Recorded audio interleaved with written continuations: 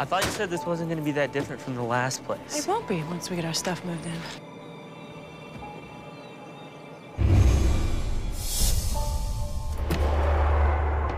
What is it? No, no.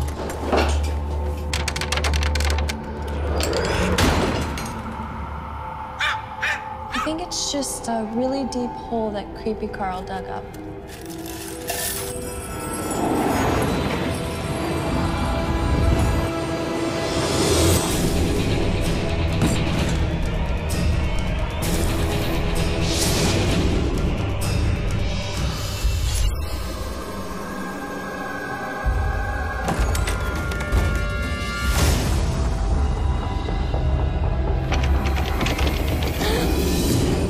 It's a wormhole, like a doorway between different universes. You took the locks off. You shouldn't have done it. You shouldn't have opened it. Someone's in the house.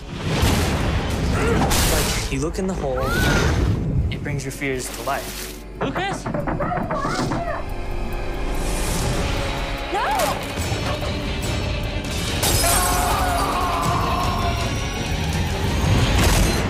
We all saw that, right? You're talking about the little girl that just crawled into the bottomless pit under your house? Yeah. I think we all saw that. Dane! How do the two of you feel about having the house to yourselves?